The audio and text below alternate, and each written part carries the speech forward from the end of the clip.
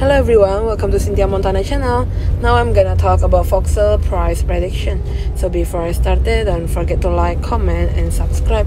I'm not a financial advisor, I'm just gonna give you some prediction using a technical analysis.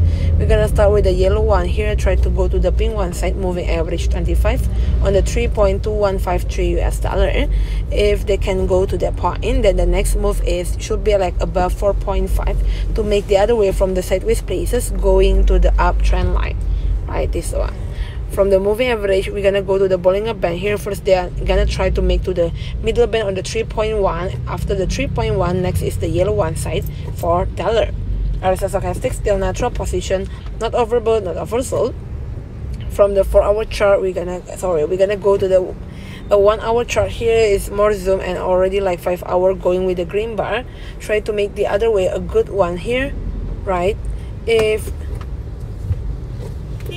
if they can make the other way, go to the purple one side, moving average 99, 3.23 should be a really good for it. If they can break that point, right? With a big, big volume above $3 from the Bollinger Band here, try to make the other way, go to the upper band first, 2.8234 US dollar. And still, as you can see here in the one hour chart, still on the downtrend line. This one, right? Thank you everyone for watching this video. Don't forget to like, comment, and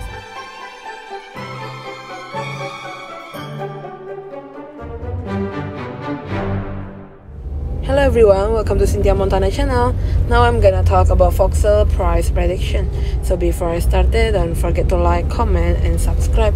I'm not a financial advisor, I'm just gonna give you some prediction using a technical analysis. We're gonna start with the yellow one here, try to go to the pink one side, moving average 25 on the 3.2153 US dollar. If they can go to that point, in, then the next move is should be like above 4.5 to make the other way from the sideways places going to the uptrend right this one.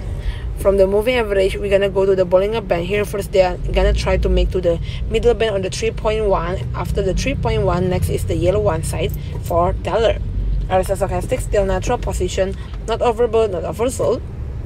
From the four hour chart we're gonna sorry we're gonna go to the a one hour chart here is more zoom and already like five hour going with the green bar. Try to make the other way a good one here right? If if they can make the other way, go to the purple one side, moving average 99, 3.23 should be a really good for it. If they can break that point, right? With a big, big volume above $3 from the Bollinger Band here, try to make the other way, go to the upper band first, 2.8234 US dollar. And still, as you can see here in the one hour chart, still on the downtrend line. This one, right? Thank you everyone for watching this video. Don't forget to like, comment, and subscribe.